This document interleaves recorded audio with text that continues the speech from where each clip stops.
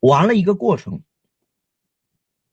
就是当我有很有理由怀疑这有一笔钱收不回的时候，我们先进入到一个所谓的可疑账户的准备阶段。但是虽然它是一个准备阶段，而利润表已经完全当成费用，是不是本年度把它减掉了？嗯，所以这件事情就体现出来，会计人他是有一个谨慎的原则。你去看啊，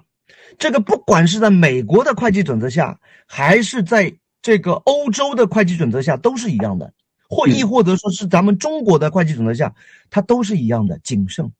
非常谨慎。OK OK，好，